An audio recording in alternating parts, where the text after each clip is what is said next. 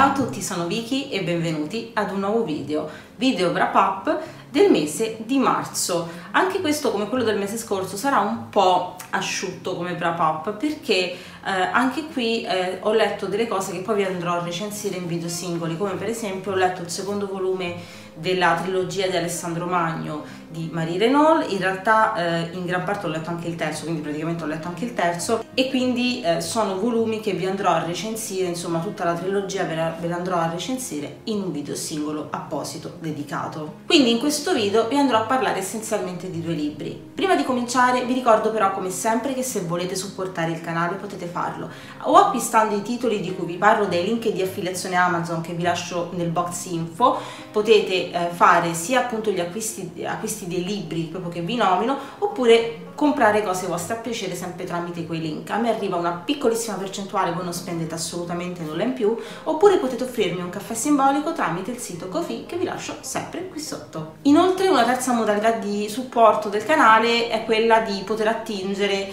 alla mia wishlist Amazon e quindi farmi un regalo che va in supporto del canale appunto perché è tutto materiale che io poi porto sui vari social, sul canale eccetera. Ma bando alle ciance e andiamo subito a cominciare con la ciccia del video. Il primo libro di cui vi parlo è Come un germoglio di bambù di Tea Bricci, un romance contemporaneo ambientato in Cina nel mondo dello show business che mi è stato gentilmente omaggiato dall'autrice. I protagonisti sono Yu e Shan, due giovani idol. Gli idol in Oriente sono ragazzi o ragazze piuttosto giovani, eh, molto popolari nel mondo dello spettacolo. Possono essere cantanti, ballerini, attori o queste cose tutte insieme. Nella storia Shan, pur essendo più giovane di Yu, è già un idol affermato, mentre di Yu vediamo proprio il percorso che lo porta a diventare famoso. Per entrambi comunque la vera fortuna arriva quando decidono di diventare gli attori protagonisti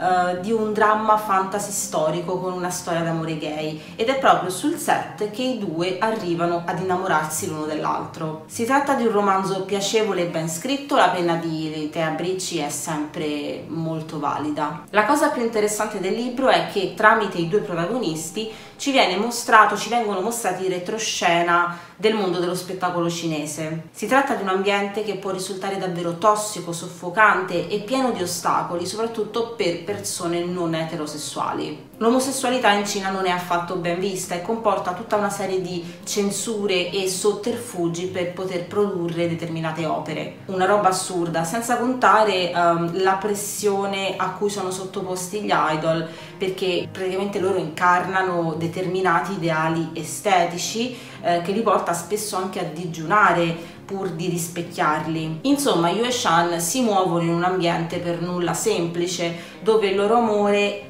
è sia salvezza sia eh, enorme rischio per le loro carriere. Il libro è diviso in tre parti, la prima l'ho trovata forse un po' troppo lenta considerando che un, gran, un grande spazio è eh, dedicato anche all'opera in cui i due protagonisti recitano, quindi eh, proprio lettura del copione, cose del genere, che secondo me ha rallentato un po' la narrazione. Credo che avrei preferito un po' più di snellezza in questa parte. Ho trovato invece più avvincenti la seconda e la terza parte, eh, dove mh, succedono più cose senza però perdere di introspezione. Devo dire che spesso ho trovato i litigi tra Yu e Shan un po' troppo forzati, come se i due volessero litigare per forza e trovassero ogni pretesto per farlo. Pur essendo un libro che ho apprezzato, dovendolo eh, paragonare Uh, mi viene spontaneo farlo ad altri libri che ho letto e amato dell'autrice, devo dire che questo non lo inserirei tra i miei preferiti, ma per un gusto puramente personale. Comunque è un libro che consiglio assolutamente, uh, soprattutto agli amanti del genere e in particolar modo se vi piace l'ambientazione uh, orientale e ancora più in particolare proprio il mondo dello show business cinese, il mondo degli idol e queste cose qui. Poi ho letto The Vampire Prisoner di Scarlett Blackwell, proprio un raccontino breve, in, si aggira intorno alle 50 pagine, sul quale però stenderei un velo pietoso perché è stata una tresciata pazzesca, praticamente questo libro con i vampiri, un erotico brutto con personaggi che fanno ridere e che di vampiroso in realtà ha ben poco. Molto bene, il video finisce qui, spero che vi sia piaciuto, se è così lasciate un like ed iscrivetevi al canale e fatemi sapere se avete letto eh, i titoli di cui vi ho parlato, qualcuno di essi, fatemi sapere se la pensate come me o diversamente e perché insomma chiacchieriamone. Detto ciò vi saluto e vi rimando al prossimo video, ciao!